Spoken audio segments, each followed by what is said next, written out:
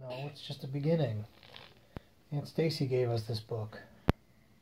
Say thank you, Aunt Stacy. No. Come on. Victor, do you want to read the book? Yeah. First page. First book. Open. Stop. Stop. He's up. He's in jail. You have more poop, Olivia? Stop. Stop. Open.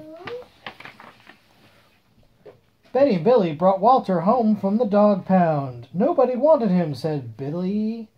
But we love him, says Billy. Well, he smells awful, said their mother. I think you better give him a bath.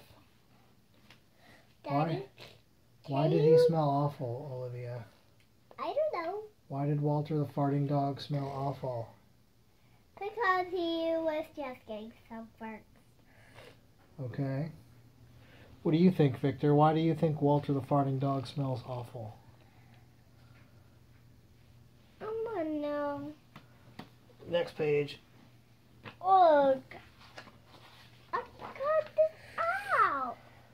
Mother walked in and said, He still smells awful, and that's when they got the first clue the telltale bubbles in the water.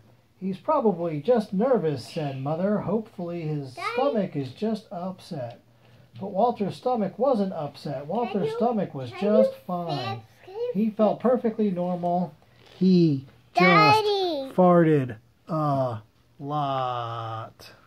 Daddy. Yes, dear. Uh, Say bye, Victor. Bye, Victor.